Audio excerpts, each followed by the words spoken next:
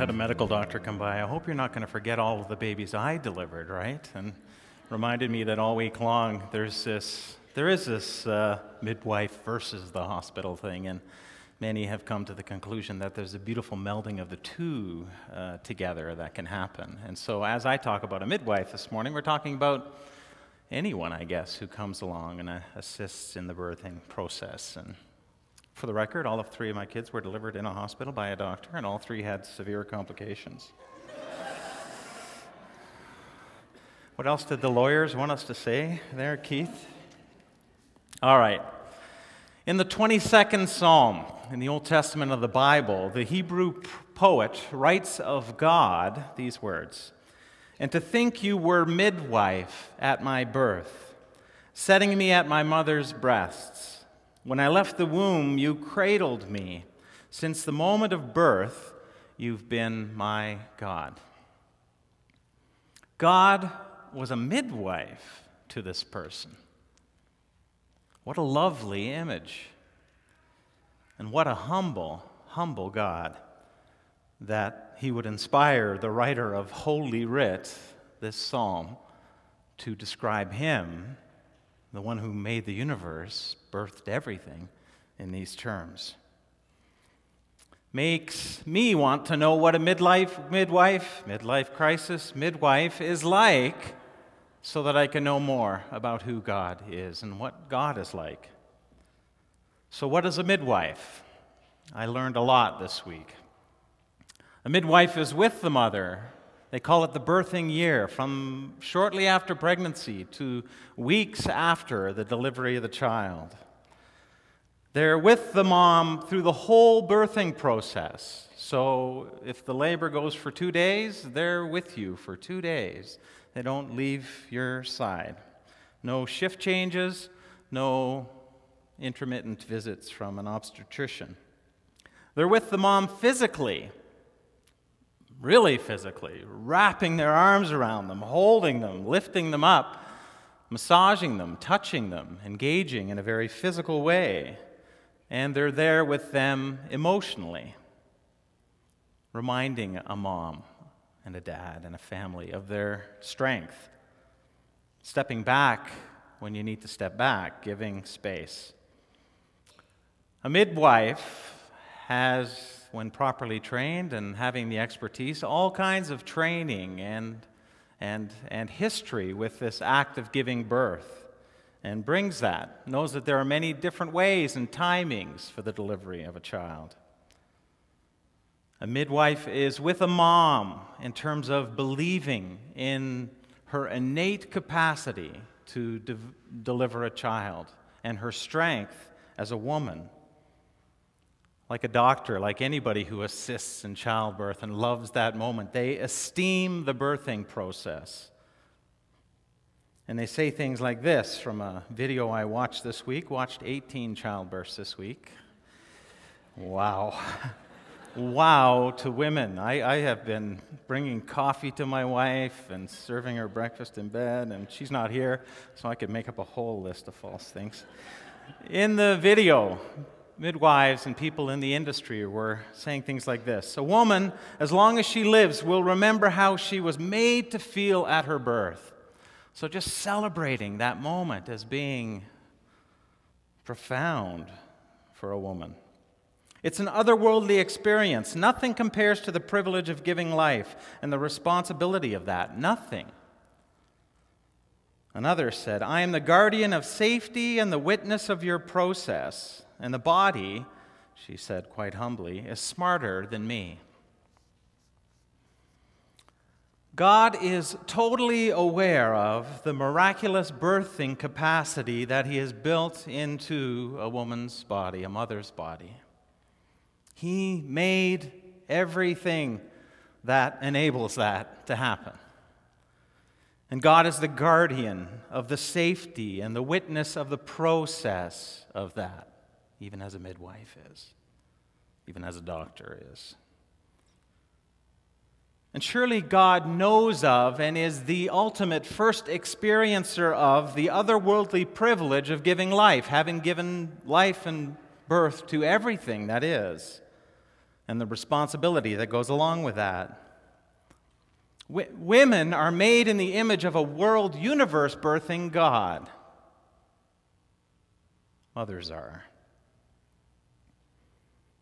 And even as a midwife is with a mother in all of those beautiful ways and holistic ways, and some would say granola crunching ways, and, but in all kinds of beautiful and good ways, God is with the mother in that moment, wherever that mother is, and with all of us, his children, as well. In his withness, I just kept thinking about his withness in terms of the witness that I was watching through all of these midwives. How God never coerces you or rushes you or pushes things along beyond a pace that you can sustain, that feels right and natural for you. How God doesn't have a schedule that He thinks you ought to be on or a curve that you have to follow all the time. How God doesn't manipulate or overdrug. Now, some of those words are coming from uh, this story out of U.S. medicine and highest cesarean rates, highest epidural rates, highest all these surgeries because of the medical system want to mon- wanting to monetize the birthing process a little too much. But God never manipulates you. God listens to how you feel about the process of what you're birthing, your life, and never leaves your side. And God trusts what He's built into your body and your psyche and your spirit and your character and your being. He knows what you are made for, and if that thing is beyond what you think you can do because it's too hard and you can't push that hard or get there on your own, you can. And He's with you, with us. For God, relationship always trumps efficiency and expediency and economics. Because God knows that relationship is what gets you through what you're delivering and through the pain. And God has some very natural other ways of working through the pain and suffering too, and can help you in that regard. Like a midwife, God knows what a human being is capable of because he made you. The psalmist again For you have been my hope, sovereign Lord, my confidence since my youth. From birth I have relied on you. You brought me forth from my mother's womb. I will ever praise you. And we should, you should, because this is your story. Praise God. Because God's witness puts a midwife's or an obstetrician's witness to shame. Nobody is with you more than God is with you.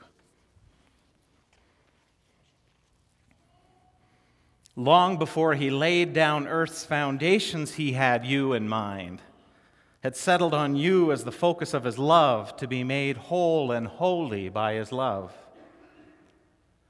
For you created my inmost being. You knit me together in my mother's womb. I praise you because I'm fearfully and wonderfully made. Your works are wonderful. I know that full well. My frame was not hidden from you when I was made in the secret place. And when I was woven together in the depths of the earth, your eyes saw my unformed body. All the days ordained for me were written in your book before one of them came to be. How precious to me are your thoughts, God. How vast is the sum of them. And then Jesus, and surely I am with you always to the very end of the age.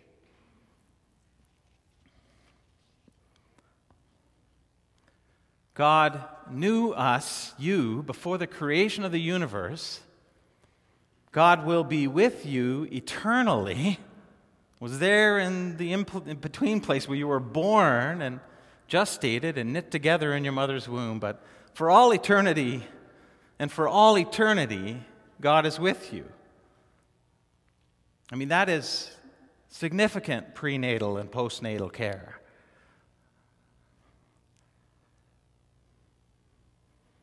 As soon as I typed those words, writing the sermon, I got an email from a friend who had been trying to get pregnant for years and were and now weren't. Miscarried, devastated, broken, deeply broken at the loss. They thought for sure this time it was going to work, and it didn't work. As soon as I read the email, I groaned. Here I'm quoting all these verses about you being with, and now this baby dies, you know, less than 10 weeks old, and what gives, God? Uh, you ordained for all the days of this mere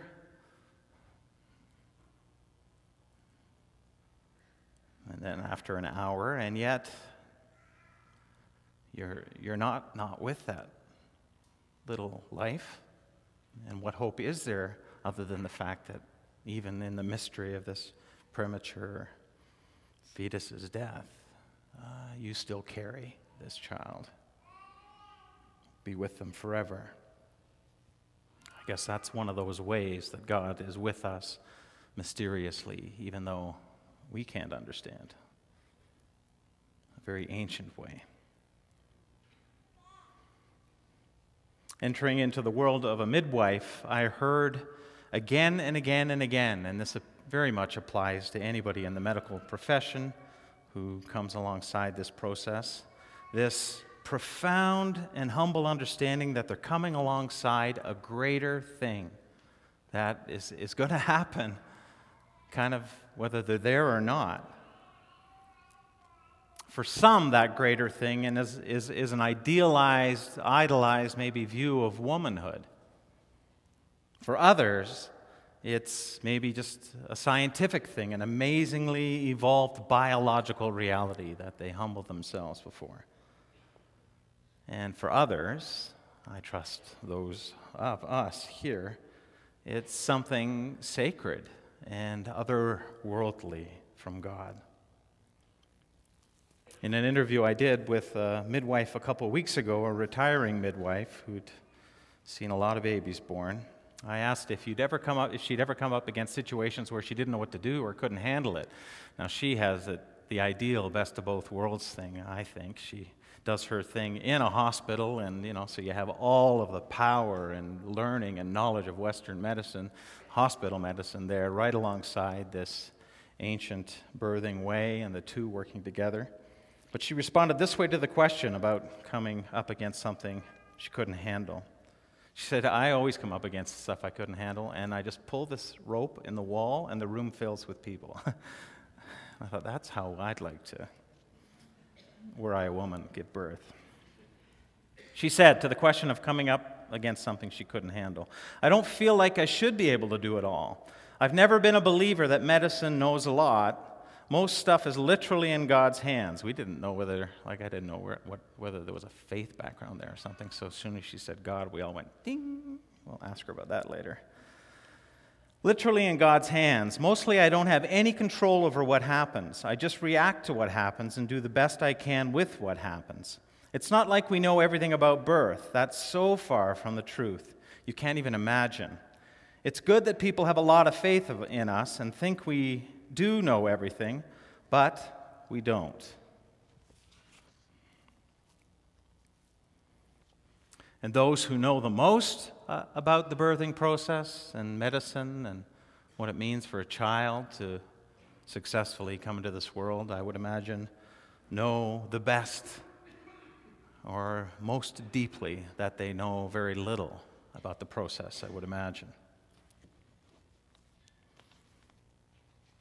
From Paul's letter to the Romans, where he uses this imagery of a child being born. We know that the whole creation has been groaning as in the pains of childbirth right up to the present time. Not only so, but we ourselves, who have the first fruits of the Spirit, groan inwardly as we wait eagerly for our adoption, the redemption of our bodies. For in this hope we were saved. But hope that is seen is no hope at all. Who hopes for what they already have?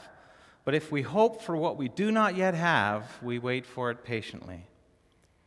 In the same way, the Spirit, like a midwife coming alongside you, helps us in our weakness. We do not know what we ought to pray, or what to do, or where to go, or how to handle this. But the Spirit Himself intercedes for us through wordless groans, and He who searches our hearts knows the mind of the Spirit, because the Spirit intercedes for God's people in accordance with the will of God. And we know for this couple with this no more baby, for you in the middle of it. And we know that in all things God works for the good of those who love him and who've been called according to his purpose. For those God foreknew, he also predestined to be conformed to the image of his Son, that he might be the firstborn among many brothers and sisters. And those he predestined, he also called. Those he called, he also justified. And those he justified, he also glorified.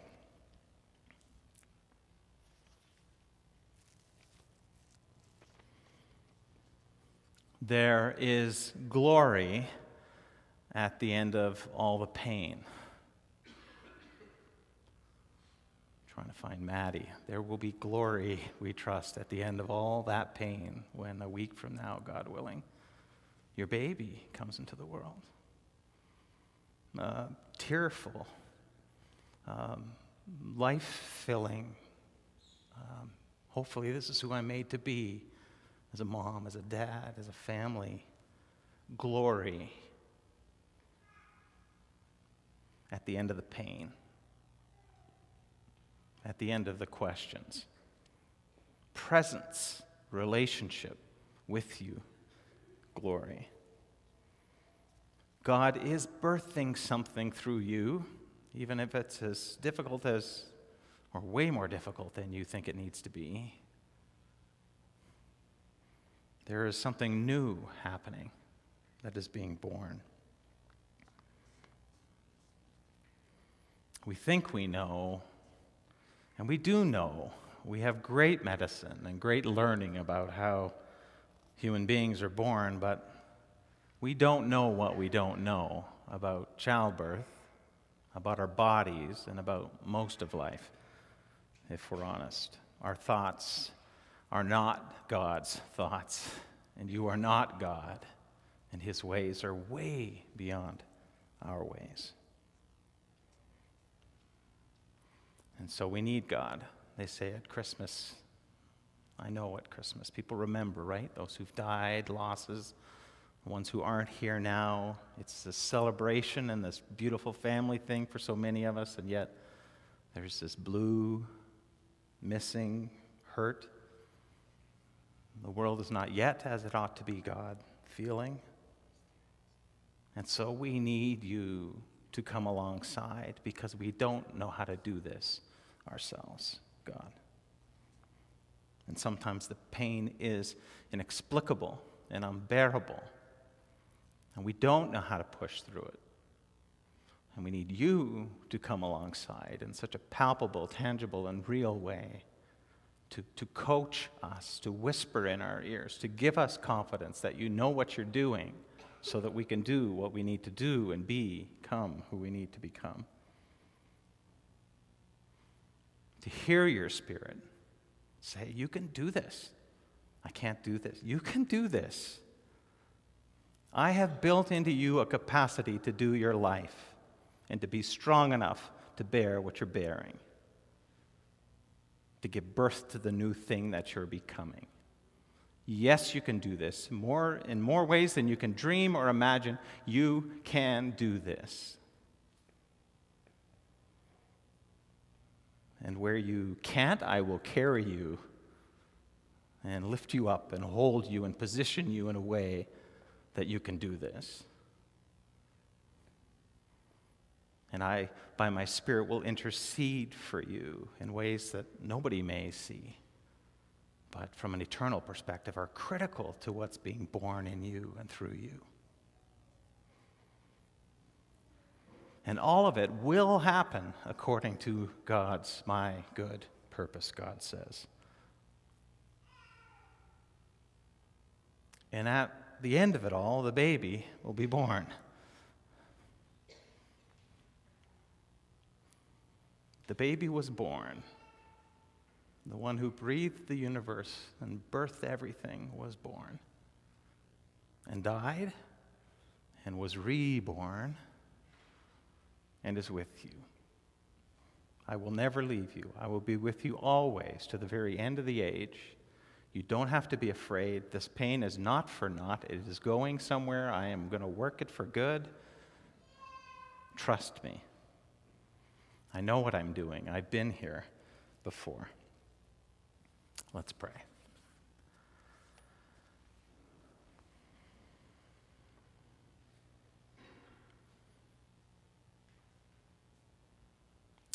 God, we do stand in awe of, uh,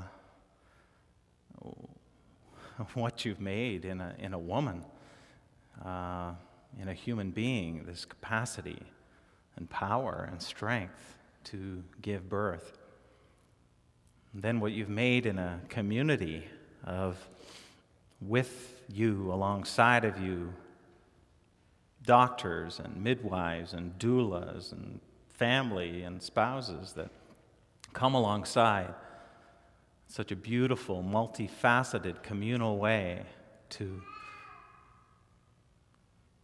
bring that child into this world. And how so much of the time it works. And how when it doesn't, you are with us, maybe even more numinously, and, and maybe we see it even more clearly, or maybe not. And that that life was thought about before the creation of the world and will be thought about forever is a profound thing and a very humbling thing. Thank you uh, that this is the kind of God who you are, that you're like like a midwife.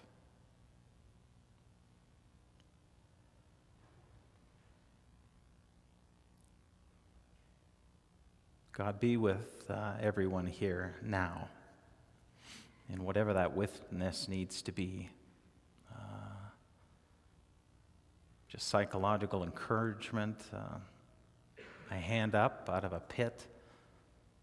Um, some sense of groundedness and sanity and peace in a crazy time of year. The ability to be a mom or a dad and maintain sanity. To be an employee, to be a member of this community, to be part of a family, to be healthy.